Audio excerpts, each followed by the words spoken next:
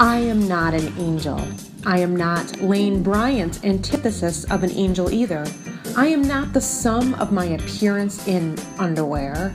I am fearfully and wonderfully made, the fullness of my whole being, my thighs, my mind, my smile, my friendship, my ideas, my desire, my inquisitiveness, my taste buds, and even my hair. I don't need any Madison Avenue advertising campaign to tell me who I am.